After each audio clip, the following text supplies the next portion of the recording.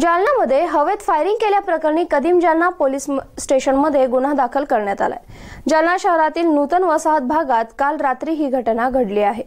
जालन्यात फायरिंग प्रकरणी कदीम जालना पोलीस स्टेशनमध्ये गुन्हा दाखल करण्यात आलाय.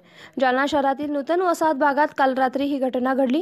शासकीय गुत्तेदार आणि काही लोकांमध्ये वाद झाला होता. वादातून वीस ते पंचवीस लोक गैरकायद्याची मंडळी एकत्र करून जमले होते. या ठिकाणी फायरिंग झाल्याची माहिती मिळाल्यावरून कदीम पोलीस ठाण्याचे पोलीस निरीक्षक प्रशांत महाजन यांच्या पथकानं घटनास्थळी भेट देऊन पंचनामा केलाय.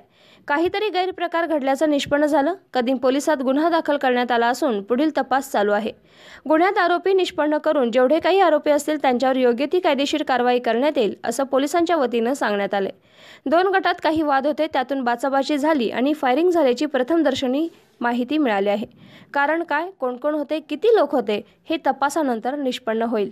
तपास सुरू असून लवकरच गुन्ह्याचा उलगडा होईल एक काडतूस मिळाला असून अजून किती हे तपासात निष्पन्न होईल असा पोलीस उपविभागीय अधिकारी सुधीर खिरडकर यांनी माहिती दिली आहे. काल शासकीय गुत्तेदार आणि काही लोक यांच्यामध्ये सायंकाळच्या वेळी वाद झालेला होता.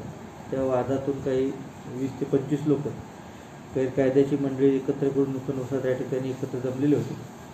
त्याच्यामध्ये त्या ठिकाणी फायरिंग झालेली आहे. असे माहिती मिळाली होती. त्यानंतर पी आय महाजन यांनी स्पॉट व्हिजिट केली आणि सगळ्यांनी व्हिजिट केल्यानंतर ते काहीतरी गैरप्रकार घडले. ते निष्पन्न झाले. त्याप्रमाणे गुन्हा दाखल करण्यात आला आहे रात्री. पुढील तपास चालू आहे. त्या गुन्ह्यामध्ये आरोपी निष्पन्न करून जेवढे काही आरोपी त्याच्यामध्ये असतील त्यांच्यावरती योग्य ती कायदेशीर कारवाई करण्यात येईल. सर काय घटना घडली होती नेमकी? थोडक्यात सांगा ना, कशी घडली? दोन गटामध्ये काही वाद होते.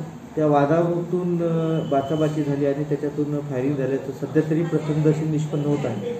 त्याचं कारण काय? कोण कोण होते? किती लोक होते? हे सगळं तपासानंतर निष्पन्न होईल. त्या संदर्भाने पोलीस तपास करत आहे आणि लवकरात लवकर अं, गुन्ह्याचा उलगडा करण्यात येईल किती फायर झाल्या काही किंवा गोळ्याचे जे एक कार्टेज मिळालेला आहे.